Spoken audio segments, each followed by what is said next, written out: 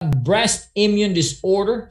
This lady has a cancer stage four, and after using the device for 22 days, 30% of the lump reduced and 90% of the pain relief. Now I'll show you here. You can see here this little text. You can zoom it using your phone that science is using terahertz to potentially offer treatment for cancer. This was in June of 2020.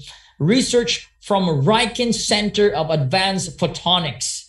They have discovered that terahertz radiation, all right, can disrupt and kill this these cells, the zombie cells. Amazing.